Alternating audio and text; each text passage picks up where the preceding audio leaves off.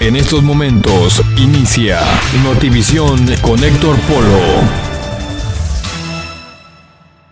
La tarde de este martes prácticamente podría estar listo el peritaje para determinar las causas que originaron el incendio que se inició, esto el sábado pasado, y que afectó 35 hectáreas en la isla Holbox, en Quintana Roo. Así lo aseveró Alejandro del Mazo, quien es el comisionado nacional de áreas naturales protegidas.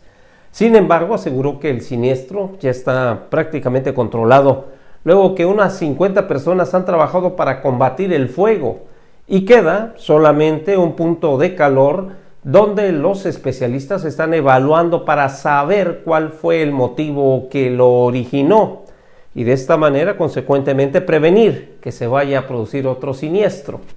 El funcionario comentó que aunque el incendio hubiera sido provocado, la ley prohíbe que se haga un cambio de uso de suelo porque deben de transcurrir 20 años para revisar la situación de las zonas afectadas.